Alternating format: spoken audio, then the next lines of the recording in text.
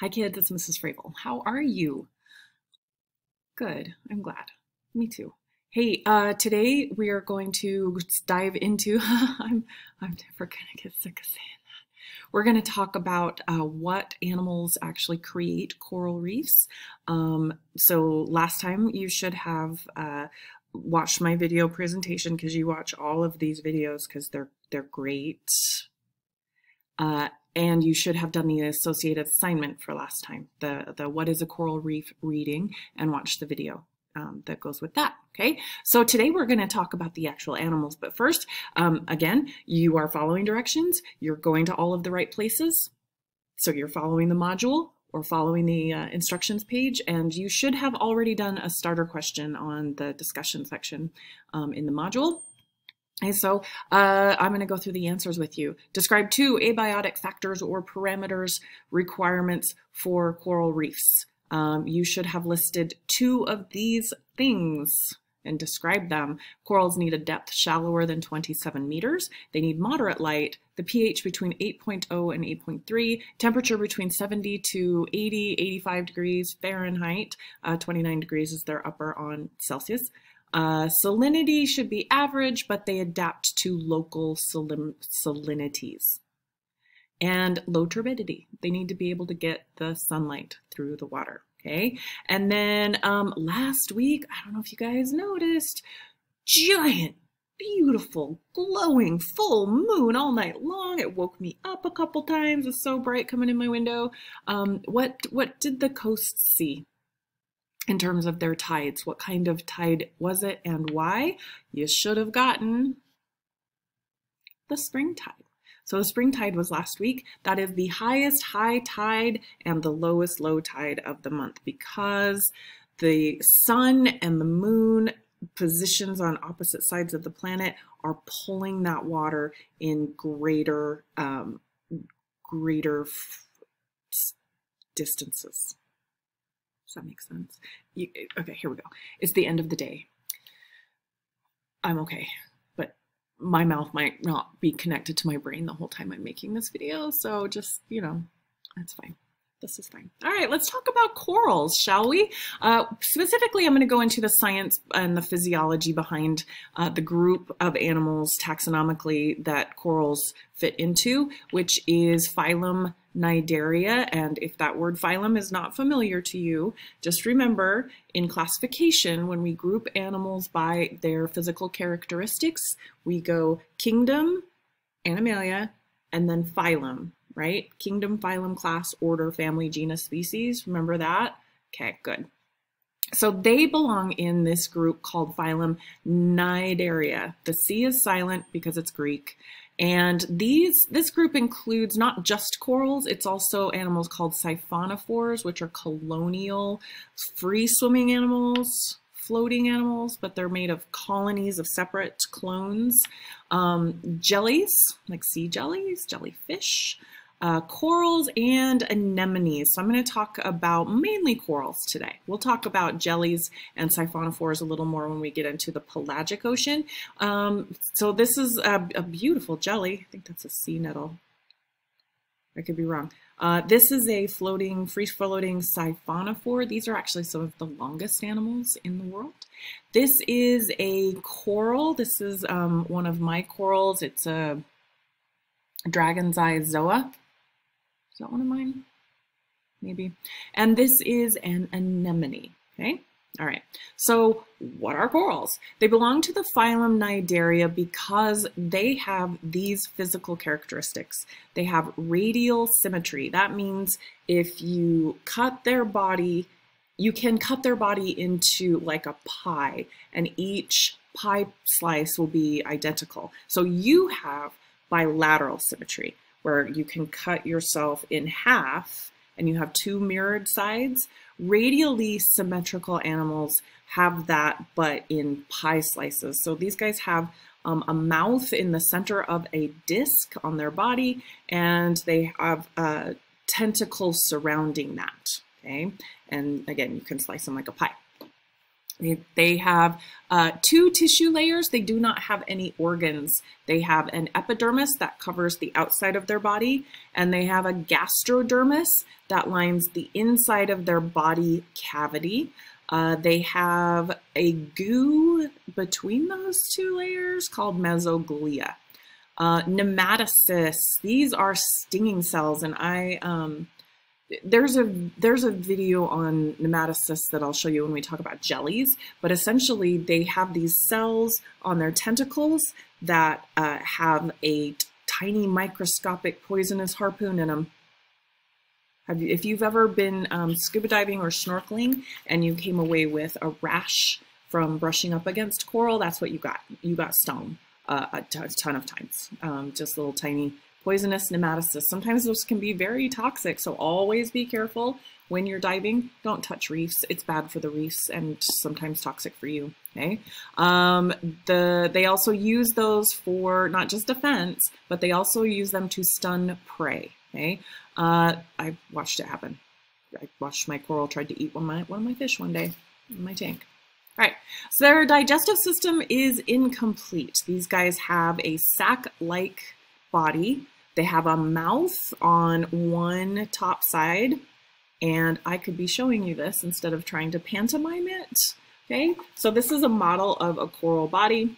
Okay, so um, the top of their, what we call their oral surface, they have this mouth opening. That's also their anal opening. Sometimes it's called a manus.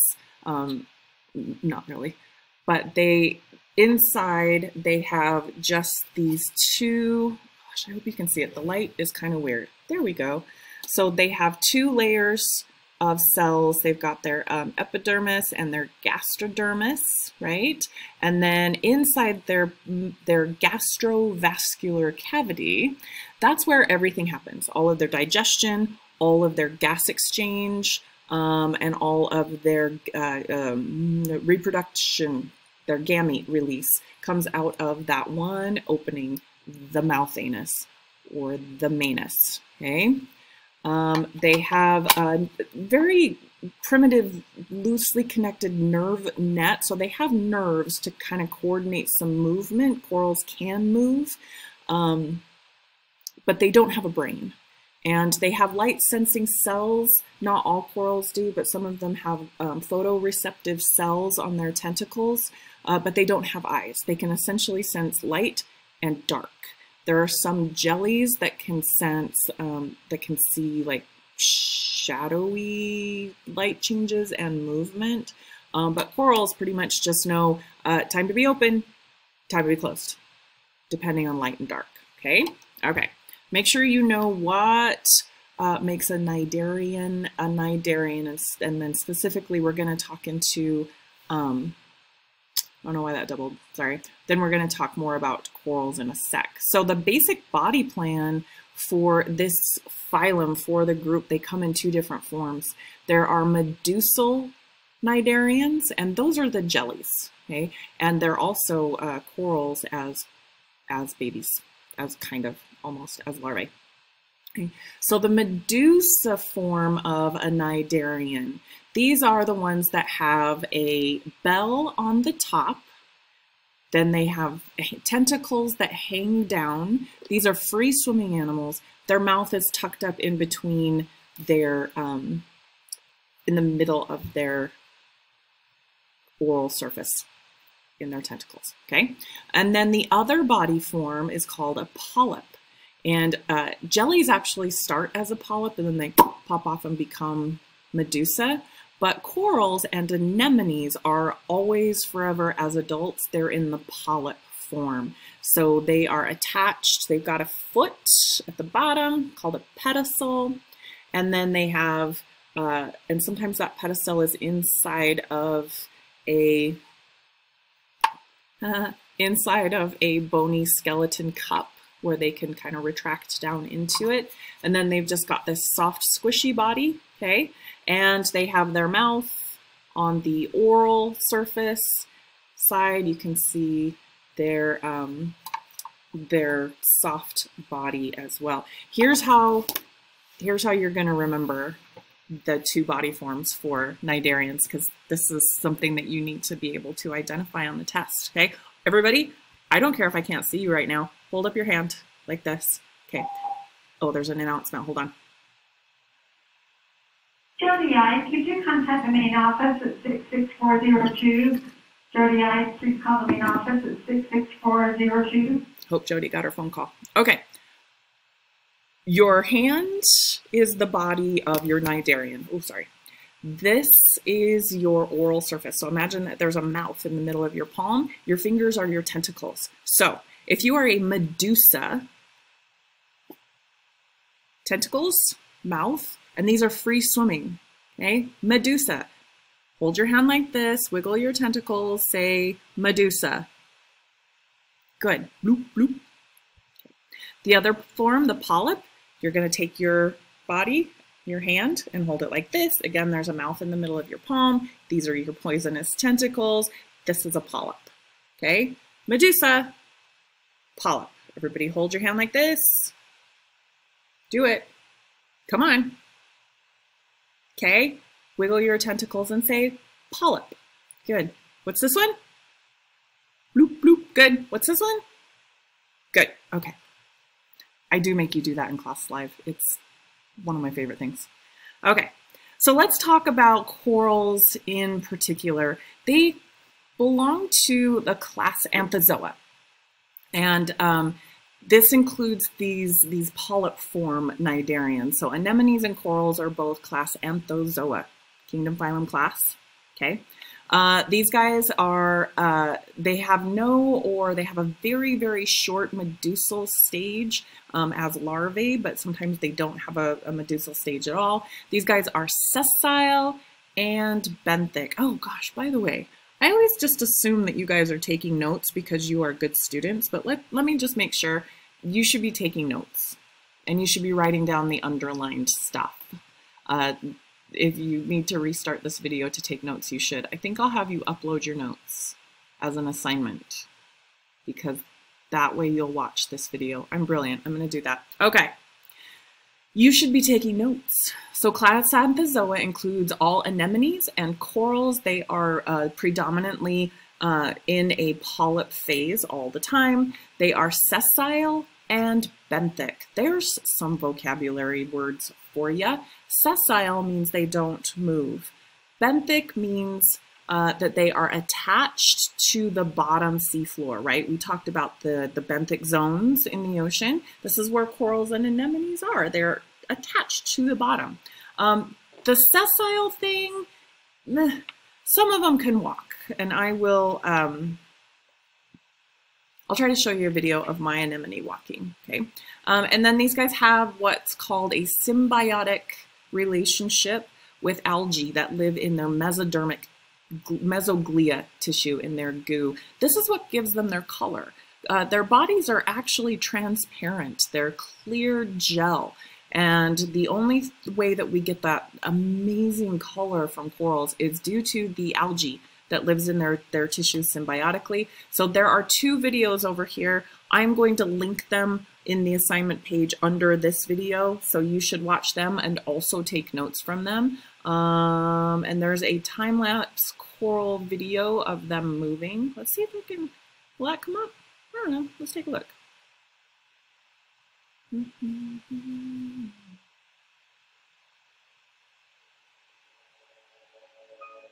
Okay, this is good, it's working. So that is not a coral, that's a tube worm. It just happens to be on this video. So this is macro uh, time-lapse video of ocean animals that we may not perceive as moving much. Okay, so slow life. So uh, this is a coral. And during the day, this is what this coral looks like. But at night, when it's hunting, it blooms. And these are those individual polyps. So corals are colonial animals. They're colonial polyps, and they reproduce mainly by dividing in half and making a new polyp. So this is the close-up oral surface of a coral. Look how cute it is. There's this little mouth. but you can see those tissues moving, twitching. These are the tentacles, and they can actually move enough to get themselves out from under sediment if they have to. Uh, it uses a lot of energy for them, but essentially they poof their bodies up with water and then down, and poof it up with water and knock all that sediment off. Okay? Look how lovely they are. Look at those corals, man.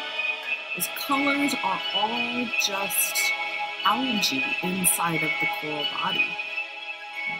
You can see this animal move and respond and and eat. So those are the tentacles there. And the mouth, or the manus. Uh, that is, I don't think that's a sponge. I don't think that's a coral mouth. Hmm. Maybe. Okay. I think you get it, right? Oh, just so you can see how slow it is. See all the little zoomy things? Those are worms and shrimp running all over. So that's just how slow these guys move. Everything else is zooming around. Okay? Yeah, that's cool. That's cool. That's a sponge.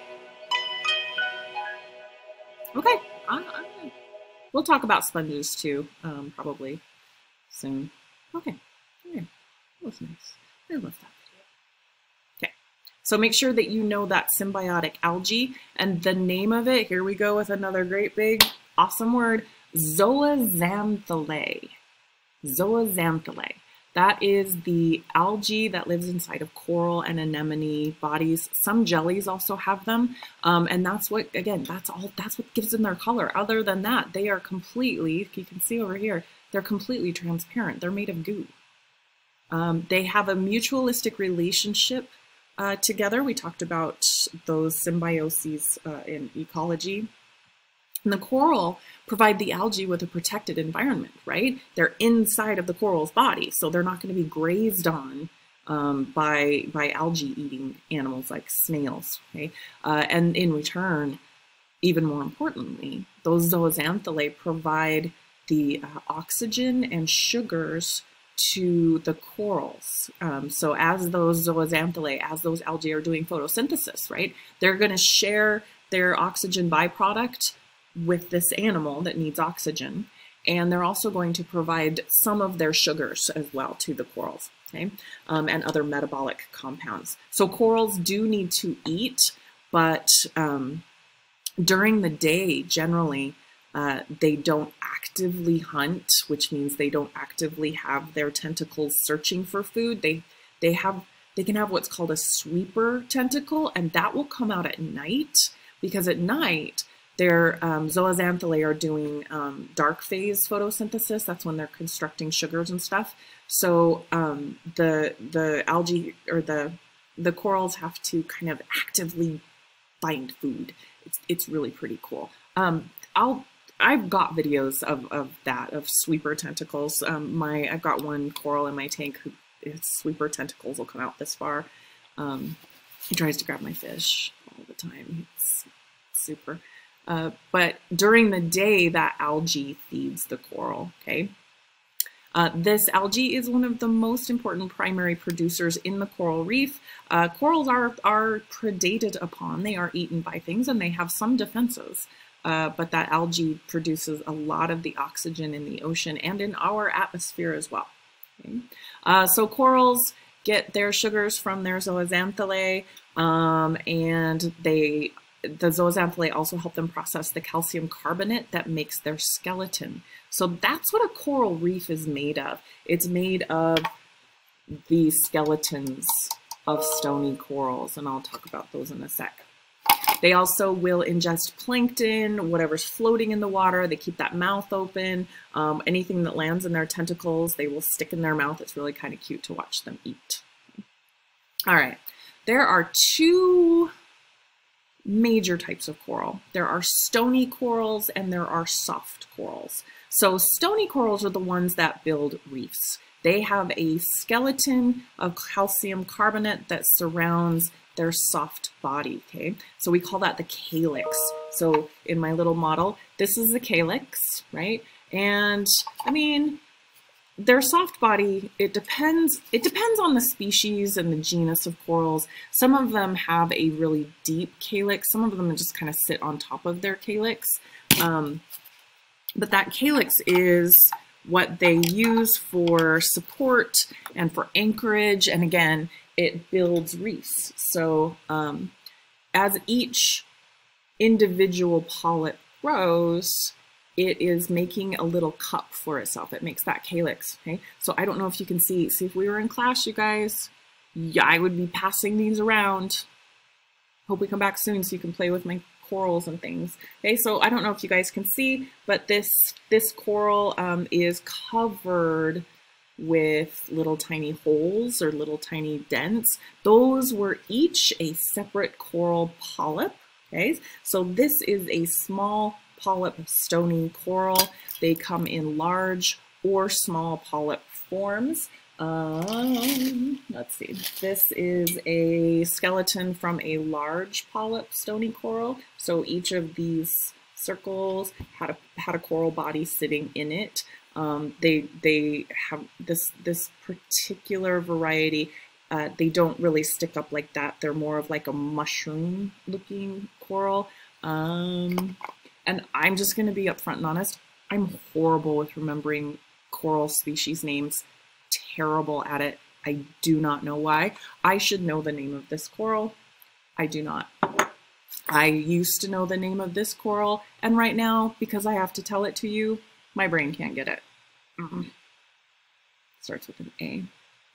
Anyway, um, this is staghorn coral again stony small polyp. If you see tiny spot, tiny little holes, that's a small polyp stony coral. If you see larger ones, these, those are large polyp stony corals, okay? Okay. What else do I have? I have so many cool things. This is a large polyp stony coral there. And then we do have some corals. Oh, this one's cool too. Wait, hold on. This is a, I don't know if that's a large or a small, but they're, they're very pretty. Okay, so those are all colonial corals. So each one of those little bodies is a genetic clone of all of them. They start as one polyp, and then that polyp just starts asexually dividing to make more. And then we also get um, non-colonial um, corals that live just one, one or two or three polyps together um, by themselves. Okay, and this was a mushroom coral. Very pretty. Okay, okay. As each of them die, they leave behind their old skeletons and new generations of coral will grow on the old coral skeletons. And that's how we get these meters and meters of limestone in the coral reefs, okay? Okay, so there are lots of different morphologies or body types for stony corals. We get the branching ones, like I showed you. We get plate corals as well, and I I do not have a plate coral. I've got one in my tank at home trying to die, so maybe, maybe. Um, but that's here. We've got that plate style, if I can get out of the way plate corals. We have encrusting coral. Now I do know this one's name. This is Cyphastrea. I have this in my tank as well. Um, this is a small polyp stony coral that encrusts around on whatever it is living on. Um, and you can see that this isn't mine, but whoever grew this Cyphastrea, they put it on a, one of the little ceramic skulls, like the, the, the Day of the Dead skulls, um, and it just took that shape. They're, they're really they're really pretty cool. And then um, we also have columnar. I think that that's elkhorn or pipe organ coral. And then we have the free living ones and we have these like brain type ones. So there is a huge diversity. This group of animals has been around for hundreds of millions of years and have weathered every mass extinction event so far on the planet, which has been five um, and they've managed to survive every single one. Um, they're amazing. I love them. Okay, so again, we have plate-like. We also have what's called foliaceous, where they the, the, the, the, the polyps start to form this like curly flower looking one. Um, again, free living, brain type, or what's called a massive coral, branching, columnar. They're just, you guys, they're just, I love them. Okay. So that's stony corals. Soft corals are called alcyonaceans. Alcyonaceans. So these guys don't have stony skeletons. They are they're more like um, anemones. They're soft, squishy bodies with no skeleton, uh, and they actually can walk a little bit on their little pedestal. Pedestal, um, and they hold on to the substrate with that foot. It's like a suction cup, and their bodies do have a little bit of support. They'll have like little tiny spicules uh, called sclerites just to keep them upright so that they're not just like a jellyfish, just like bleh. These guys have a little support in their um, calyx or in their foot and their pedicels so that they have some some um, support. Whew, my brain is so excited about coral. There are different body types and morphologies for soft corals as well. We get bubble corals. We get what's called sea fans. These are gorgonians. Now, I the gorgonians are kind of their own thing. They're they're kind of coral. They're also not. So, but they're really pretty. Gosh, they look like Dr. Seuss trees. They really do.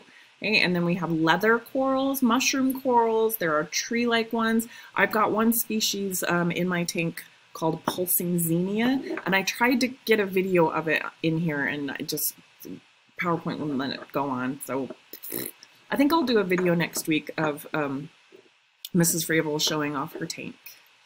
I'm, I'm gonna Gilderoy Lockhart you guys with my corals, okay? Uh, but the pulsing xenia, it actually actively pumps really fast, pulses. It has little hands uh, each polyp goes like this and you get a whole colony of them, of hundreds of them going like this. Hopefully mine will be pulsing next week.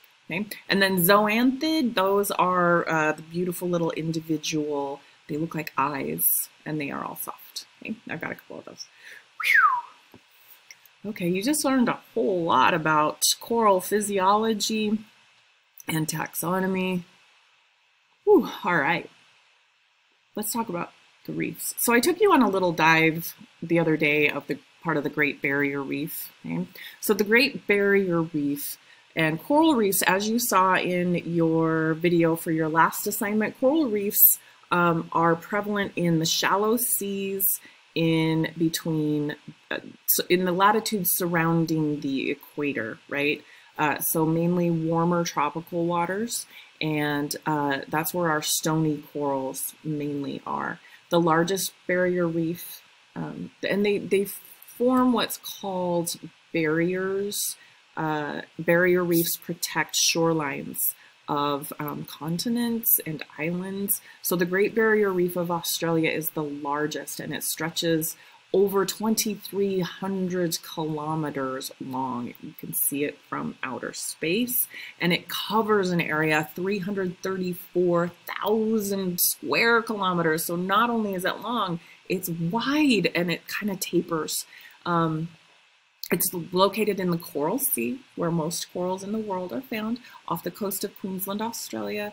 Uh, there's thousands of species of coral. There's um, table brain pipe corals, flower pot corals, cauliflower corals. I have a I have a cauliflower coral right there. I got that. I got this in Hawaii. They wash up on the beach. Okay. Don't tell the people in Hawaii that I took that. It was for educational reasons. Okay. Um, and then that reef supports. These reefs support the, some of the most important and diverse communities in the world in terms of animal life. They are nurseries for a lot of open ocean fish. Their fish larvae actually grow up in the coral reef because they can hide and they're safe. Same with octopus, cuttlefish, squid, seahorses, all kinds of fish also call that call these reefs their permanent home. So we get tangs, anemone fish, of course, coral trout, groupers, octopus, all of them. Sea turtles hang out in coral reefs all the time. Um, all kinds of echinoderms like starfish, uh, and uh, sea cucumbers. We get all kinds of mollusks, clams, snails, nudibranchs, sea snakes hang out in coral reefs. In uh, the Great Barrier Reef in particular, sea snakes are only found uh, in the Indonesian and coral seas. Okay, okay, so there's a little bit about the Great Barrier Reef. Again, this is literally one of the most important ecosystems on the planet. And right now it's not doing so hot. I don't know if you know that. Next week we're going to uh, talk about some of the threats to the Great Barrier Reef and all of our reefs. Okay. okay. Any questions? Oh, what was your assignment? Good question. Your assignment, you're going to make a slideshow. Now, don't panic. You have a whole week to get this done. Okay. Uh, you're going to make a slideshow on Google Slides, and this description is also on uh, the assignment page for it on Canvas. So um, I'll probably post this video right above it. Uh, so don't stop the video yet, though. Okay, so you're going to make a slideshow on Google Slides and you are going to showcase a different species and a different type of coral on each slide. So you need to have one slide showcasing a large polyp stony species, one and then another slide with a small polyp stony species, a slide with an anemone that lives in coral reefs. The purple stemmed anemone is my favorite. Uh, and then two other soft corals. The easiest way to do this research, although I'm sure I don't need to tell you guys this because you grew up doing the internet, right? When you're researching uh, stuff like this, uh, Wikipedia is actually a good source on um, on zool zoology stuff and marine biology stuff. So um, you can Google large polyp stony coral, okay? Um, and don't don't panic too much because you're going to start Googling these and what you're going to, the first hits you're always going to get are going to be people selling corals. So uh, as long as they have the scientific information about them on there, that's, that's fine to use as a source. Just don't buy them unless you have a reef tank or want to buy Mrs. Fravel a coral for her reef tank. No, don't buy me coral. I'm fine. Mine's full. Okay, so you're going to have one, two, three, four, five different species of coral. For each of those, I want its common name and scientific name. If it doesn't have a common name, that's fine. Not all, not all corals have common names, so you can just do the genus and species. Uh, I want a picture and a written description of them. And uh, tell me where they're found in the wild. Don't tell me that Bob's Bob's Reef Village in Cincinnati, Ohio will sell you one. Tell me where they're found in the wild, okay? Um, and then for your sixth slide, I want you to research a reef other than the barrier reef. So I just told you about the Great Barrier Reef off of Australia. You can look up a coral reef somewhere else. There's the um, coral reef off the coast of um, Belize. That's the Caribbean reef. That's the second largest coral reef in the world. There's also reefs um, all around Indonesia, and those Indonesian reefs are some of the most pristine reefs in the world. There's reefs in the Caribbean. There's actually um, a recently discovered reef at the mouth of uh, the Amazon River. We didn't know it was there. There are reefs in the Red Sea, off of Africa. They're everywhere. Find a cool one, okay? I want you to tell me what uh, it looks, see if you can find a picture of it. I'm sure there's pictures. And tell me a brief description of the ecosystem, a, a sampling what kind of corals are found there, what kinds of fish and other organisms, and then also tell me how humans impact it, whether we use it for tourism and diving, or if there is an industrial uh, effect to it. Is there a shipbuilding yard? Is there a giant city like Rio de Janeiro flushing its toilets into it? Things like that. Okay. All right. Any questions? Okay. Uh, have a great fall break. Uh, this is due next Wednesday, so you don't necessarily have to work on it over fall break. Um, Wednesday the 21st is when I want this turned in. Okay. Okay. You guys are awesome. I hope to see you soon so you can play with my corals. Okay. Be good. Wear your masks. Bye.